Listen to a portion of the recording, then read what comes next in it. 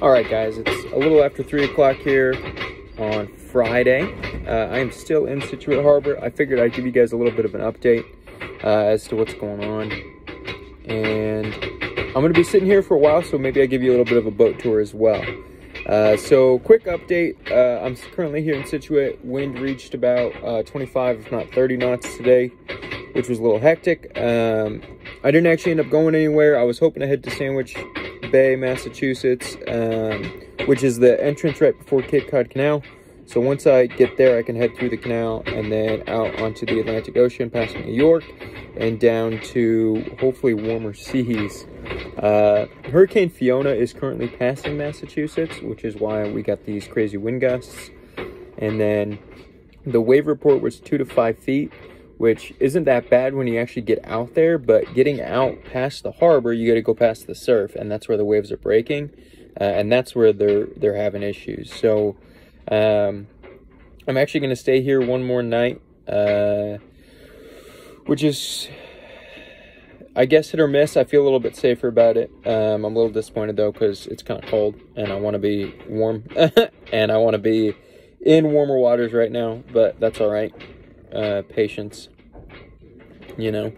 Um, so hopefully I will head out tomorrow. Uh, I actually have my solar panels arrived in Sandwich Bay today, so that's exciting. I can get those kind of rigged up, and then we'll kind of take it from there um, and kind of run off of almost off grid kind of setup that I'm gonna kind of have going on. That's the goal, at least. Um, but I figure while I'm waiting around not really doing anything, I could give you guys a little bit of a boat tour. I got things a little bit more cleaned up uh, than they were yesterday. It also rained like crazy yesterday, so I have everything kind of hanging up drying. I'm trying to stay warm.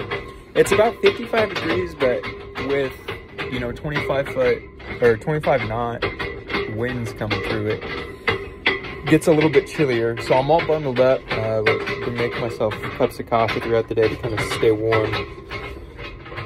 Um, but we'll kind of start over here. So this is kind of the only area that's still a mess. I got to kind of figure this out. I was making coffee, so I got out my electric skillet.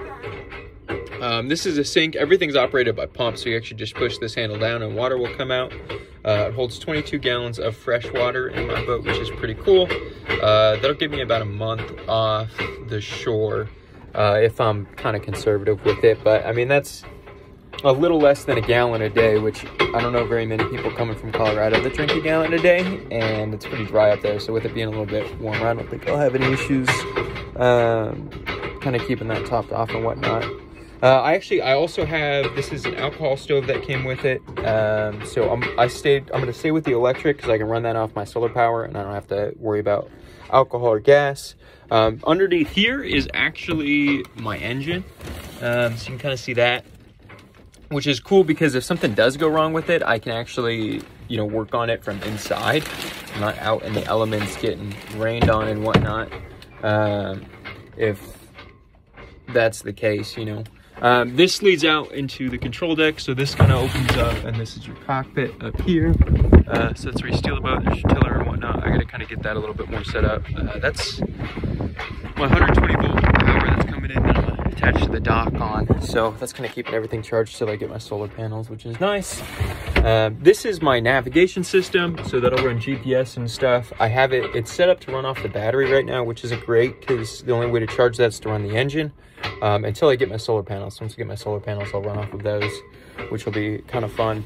Um, and kind of get away from the phone because I've been using my phone mostly for navigation, which is kind of annoying. Uh, so this is kind of how everything sits, right? It just kind of goes straight back. Um, 28 foot boat. Uh, there's definitely not 28 feet in here though. Um, and standing, like there's enough for standing room. So I'm, I'm, wearing a hat, so there's a little ball on the top, but I can stand easily fine here. And then if I walk into here, I'm, I'm a little under six foot. I can stand perfectly fine here, which is nice. Um, underneath all of this stuff is storage, and there's like storage in here, uh, and then like all of that stuff opens up for storage, and then like this stuff opens up for storage. Gotta have Ziploc bags, you know. Um, and then you can lift these up, and there's like storage underneath there. Um, these right here, this is my bilge, so like collect any rainwater or anything that's coming off the deck or any salt water that's off the deck.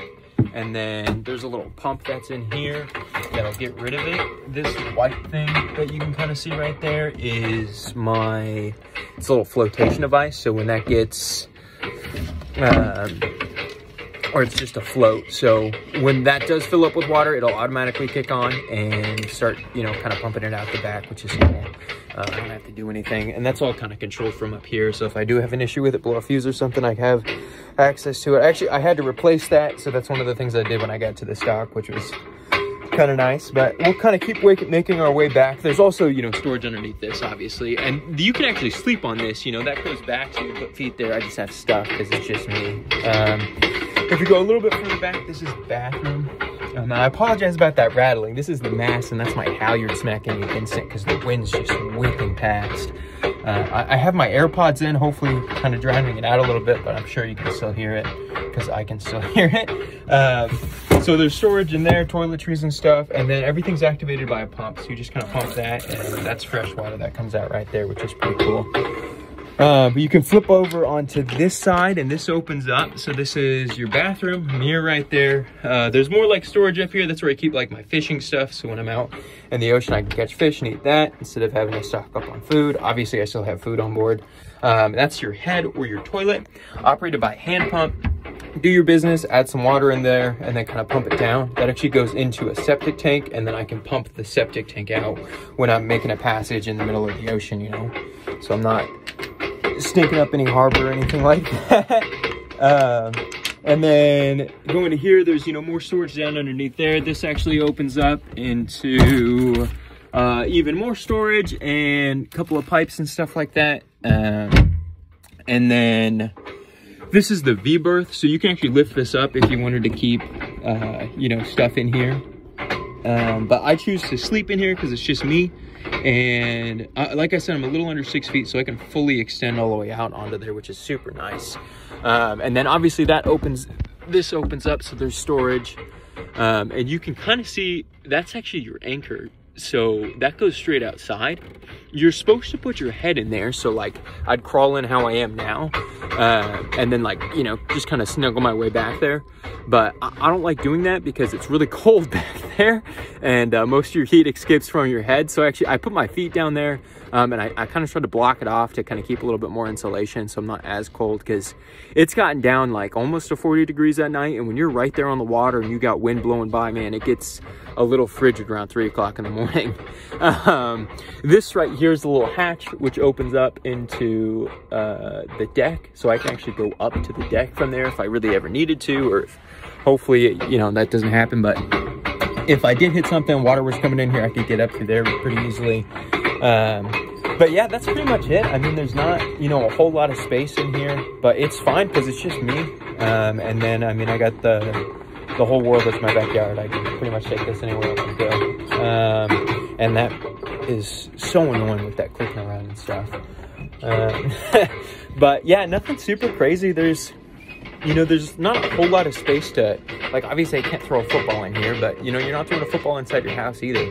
Um, as far as storage goes, there's literally storage everywhere.